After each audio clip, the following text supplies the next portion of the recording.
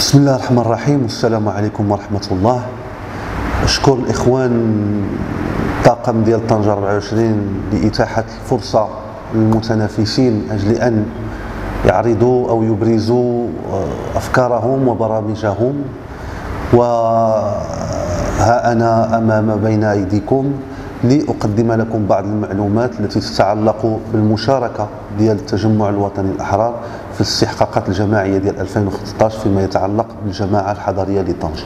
بالنسبة بالنسبة للترشيح ديال التجمع الوطني الأحرار بجماعة طنجة فيجب التذكير بأنه المشهد الحزبي العام لا التجمع ولا الاحزاب الاخرى عرف واحد النوع ديال عدم الاستقرار مؤخرا. نظرا من الرغبه ديال بعض الأحزاب باش تصدر يعني النتائج بطريقة أو بأخرى.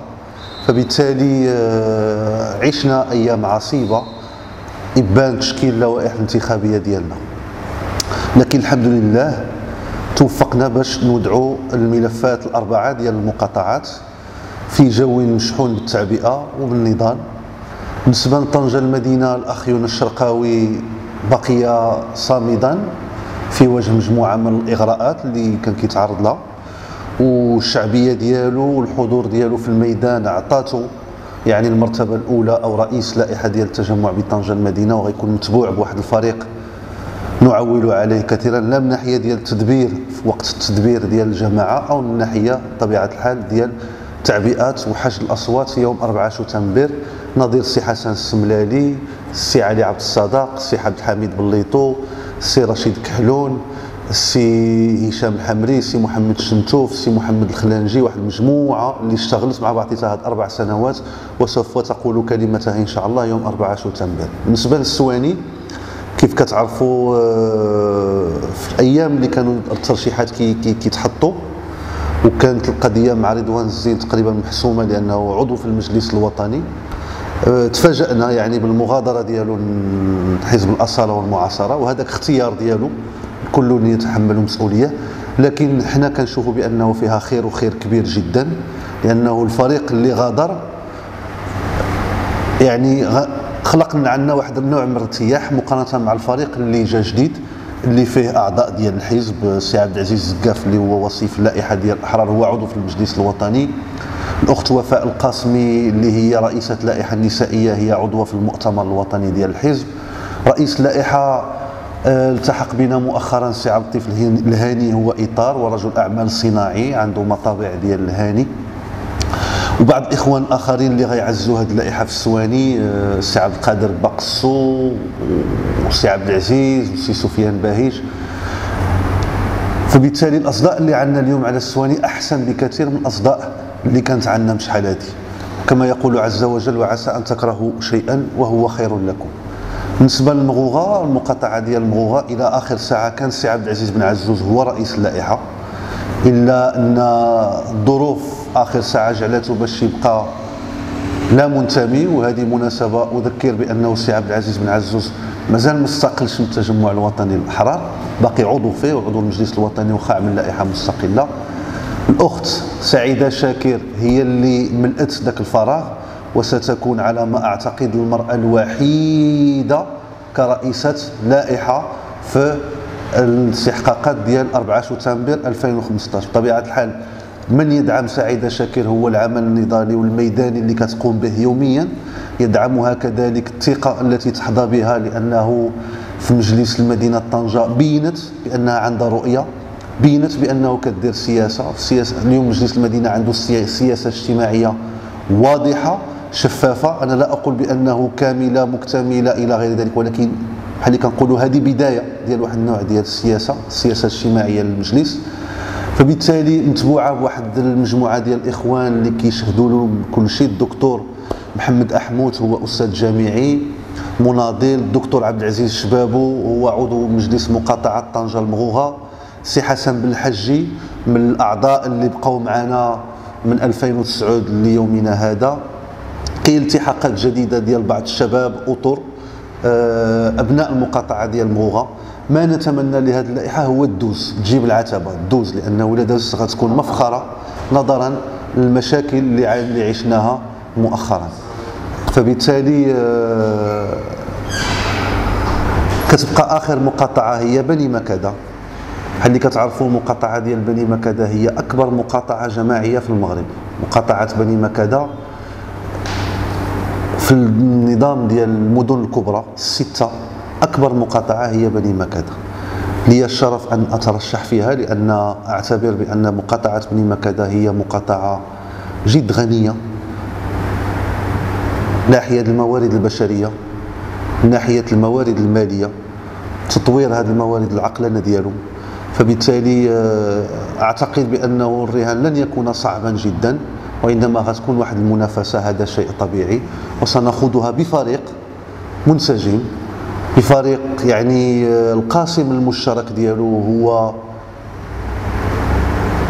الوضوح لأنه الناس اللي كيشكلوا لائحة ناس معروفين خدامين معروفة المهنة ديالهم معروفة منين كياكلوا معروف منين كيشربوا هذا شيء يعني مطمئن. بالنسبة للبرنامج ديال التجمع الكل يعرف بأنه طنجة عرفت واحد قفزه نوعية يعني منذ اعتلاء صاحب الجلالة عرش أسلافه المنعمين الرهان اللي تعطى لطنجه رهان كبير وحنا كساكنة ديال طنجة استفدنا منه الكثير والكثير جدا. يكفي ما نراه من طرق التي تعبد يوميا يكفي ما نراه من مرافق الجماعاتيه التي تتطور يوميا. طبيعة الحال الدور ديال السادة الولاة والعمال عنده بصمة كبيرة وكذلك المواكبة ديال المجالس الجماعية والمجالس الترابية كانت مواكبة يعني معقولة وكانت مواكبة وازنة ومسؤولة ديال السادة أعضاء مجلس مدينة طنجة ولا أعضاء مجلس جهة طنجة تطوان ولا أعضاء مجلس عمالة طنجة أصيلة. كانت واحد المواكبة باش وصلنا اليوم. يكونوا عندنا بعض المرافق يعني في المستوى. نشوفوا النقل الحضري اليوم آه، يعني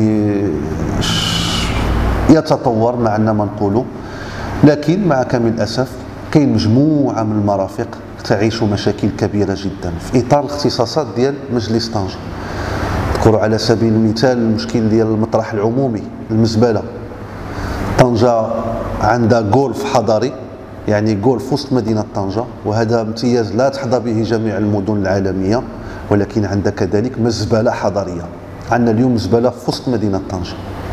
وهذا المشكل هذا مازال ما تحلش. كاين المشكل ديال المقابر. بني ما كذا الناس وصلوا كيدفنوا فوق بعضهم دابا والعياذ بالله. يعني حتى الكرامة ديال الموتى ما بقاتش. نتكلم منذ 2011 عن مقبرة النموذجية اللي ما زلنا عاجزين على إخراجها لحي الوجود. حيز الوجود. واش هذه المقبرة النموذجية اللي جات في حي الرهره غتخدم لبني مكاده وغتخدم المغوغه وغتخدم شوية للسواني لا يعقل خص بني مكاده يكونوا عندها مقابر ديالها كبيره. واعتقد بأنه اليوم ما كاينش رؤية في هذا الموضوع هذا بتاتا ديال واحد السياسة المقابر على مستوى الجماعة الحضرية. اللي بغيت نقول بأنه البرنامج لن يقتصر على هذا ولكن اللي بغيت نقول بالبرنامج ديالنا هو نركزوا على الاختصاصات ديالنا. ولا كانت الاختصاص ديالنا الإنارة العمومية راه خصنا نحلوا المشكل ديال الإنارة العمومية. ما يمكنش نهربوا للأمام ونقولوا عملنا هيدا ما عندناش عندنا مشاكل الإنارة العمومية خصنا نحلوها. عندنا مشاكل ديال المقابر خصنا نحلوهم. يعني خصنا نمارسوا الاختصاصات ديالنا. ولكن هذه الاختصاصات ما يمكنناش نطوروها ولا ما طورناش الموارد المالية ديال الجماعة. جماعة طنجه اليوم المداخيل ديالها على ما أعتقد وحسب ما يقال في في المقررات الرسمية هو 65 مليار. هذا غير كافي. الا بغينا نطوروا هذه المرافق هادو خصنا نصرفوا عليهم أكثر. فبالتالي أعتقد بأنه أي رئيس جماعة أي عمدة لمدينة طنجة كيف ما كان النوع ديالو كيف ما كان الحزب ديالو خصو يفكر في التطوير ديال الموارد المالية ديال الجماعة ديالو. خصو يكون عنده يوميا un tableau de bord كيعرف شنو دخل وشنو خرج لأنه بالموارد المالية ربما غنحسنوا جودة الخدمات. أما باش نعولوا على الاقتراض ونعولوا على الكريديات ونعولوا على برنامج طنجة الكبرى فهذا غير كافي لأنه طنجة الكبرى مثلا هو مشروع محدود في الزمن والمكان لكن الصيانة ديال طنجة الكبرى والمواكبة ديالها على أفق 10 سنين و15 و20 عام سوف تتطلب واحد المجهود مالي من الجماعة وهذا هو اللي خصنا نخمو فيه خصنا نطوروا السياسة المالية ديال الجماعة خصنا نفتشوا على وعاء جبائي جديد تكون عندنا سياسة جبائية أكثر فعالية باش نقدروا طبيعة الحال نصرفوا أكثر. أقتصر بهذا هذا المجال وشكرا.